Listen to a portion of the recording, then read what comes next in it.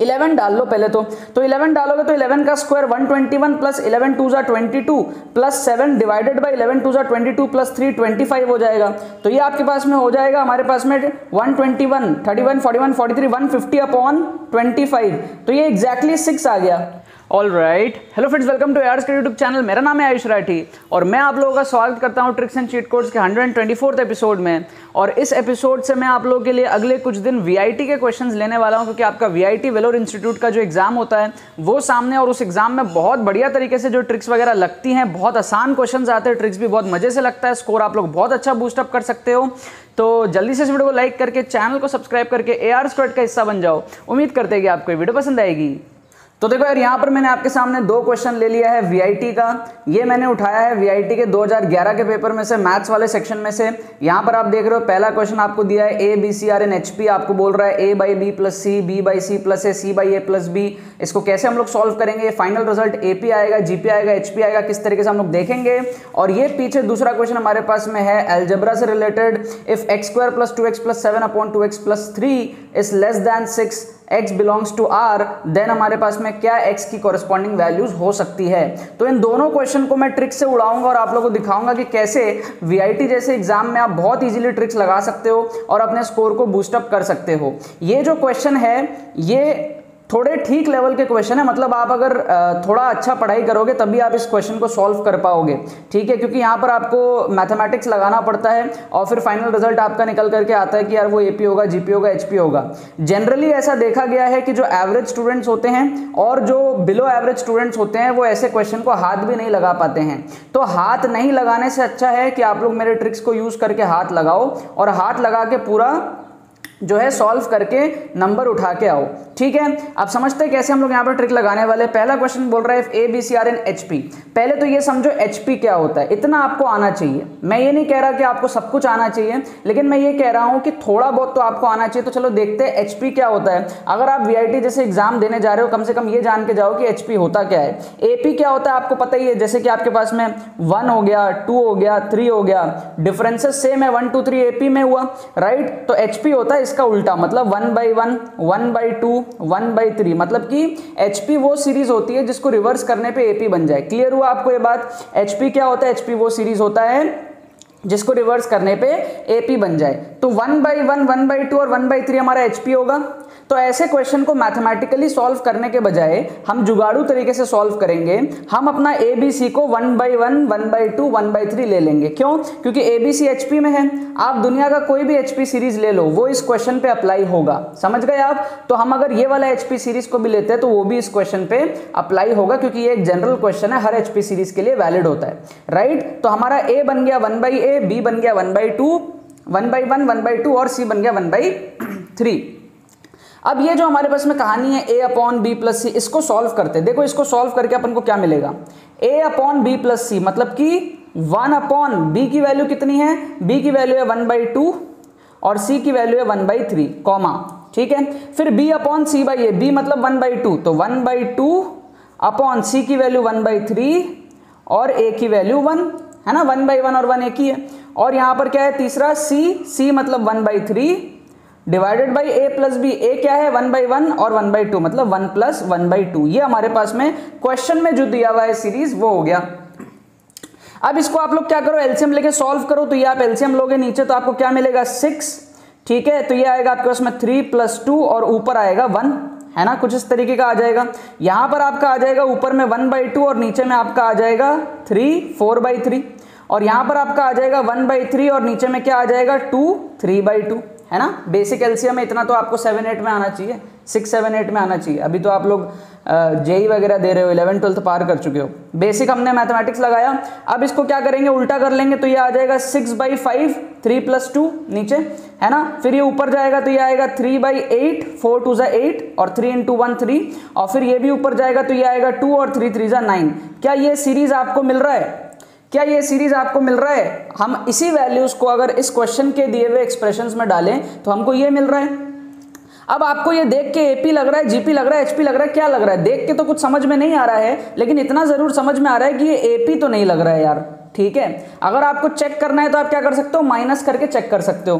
Right मैं check करूँगा HP को, क्योंकि मेरे को फील आ रहा है कि ये एपी तो नहीं है, क्योंकि ये सिक्स बाई फाइव जो है, ये वन पॉइंट टू समथिंग है। फिर ये थ्री बाई एट है, जो ये वन से भी छोटा हो गया काफ़ी ज़्यादा, और टू बाई नाइन है, वो और भी ज़्यादा छोटा हो गया। मेरे को डिफरेंसेस बराबर के नहीं दिख रहे। इन इन दोनों के बीच में जो गैप है, वो ज़्यादा लग रहा है मेरे को, और इन दोनों के बीच में जो गैप है, वो कम लग रहा है मेरे को। तो मैं क्या करूँगा? पहले एचपी ट्राई करूँगा। एचपी देखूँगा। अगर एचपी भी नहीं आया तो जीपी देखूँगा। और जीपी भी नहीं आया फिर एपी देखूँगा। और अगर कुछ नहीं आया तो नन ऑफ़ दीज के साथ में जब मैं जाऊँगा। क्योंकि मेरा फील ये कह रहा है कि ये एपी तो नहीं है। देख के मेरे को फील आ रहा है क्योंकि ये 1.2 है। ये 3 बाई एट आप देख लो ये 50 परसेंट से भी कम है। मतलब ये आपका आ, अगर ये 4 होता तो ये 0.5 होता। उससे भी कम है। और ये उससे भी कम है। और जो गैप है वो इन दोनों के बीच का गैप ज़्यादा है इन दोनों के बीच का गैप कम है। राइट? तो मैं पहले एचपी चेक करूँगा तो एचपी चेक करने के लिए अगेन क्या करना है? इसको उल्टा करना पड़ेगा आपको। तो उल्टा करोगे तो आपका आएगा फाइव बाई सिक्स आपका आएगा एट बाई थ्री और आपका आएगा नाइन बाई टू अब आप इसको माइनस करके देखो, क्या ये एपी है? अब आप माइनस करके देखो, मेरे को फील आ रहा है कि शायद अब ये यहाँ पर हमारे पास में जो है गैप जो है वो बराबर बराबर का गैप हमारे पास में आया है। क्योंकि आप देखो यहाँ पर ये nine by two four point five हो जाएगा, है ना? ये eight by three two point something हो जाएगा और ये फाइव बाई सिक्स जो है, ये वन से थोड़ा सा कम है। तो गैप मेरे को अब बराबर का दिख रहा है दो दो के आसपास का गैप मेरे को दिख रहा है। ये टू पॉइंट समथिंग ये फोर पॉइंट समथिंग और ये वन के आसपास मतलब वन से थोड़ा सा कम है। ठीक है? अब मेरे को ऐसा फील हो रहा है कि गैप जो है ये बराबर का है। लेकिन हम लोग चेक कर लेंगे तो हम लोग माइनस करेंगे। एट बाई थ्री और फाइव बाई सिक्स को माइनस करो। Eight by three minus five by six देखो ये कितना आता है। एलसीएम नीचे आया सिक्स ये आया ऊपर सोलह माइनस पाँच, ये आएगा हमारे पास में ग्यारह बाई छः ये आ रहा है ग्यारह बाई छः माइनस करने पे। एट बाई थ्री और पाँच बाई छः को माइनस करने पे आ रहा है ग्यारह बाई छः अब नाइन बाई टू और एट बाई थ्री को माइनस करके देखो, है ना? Nine by two nine by two को माइनस करके देखो आप किसके साथ? एट बाई थ्री के साथ में।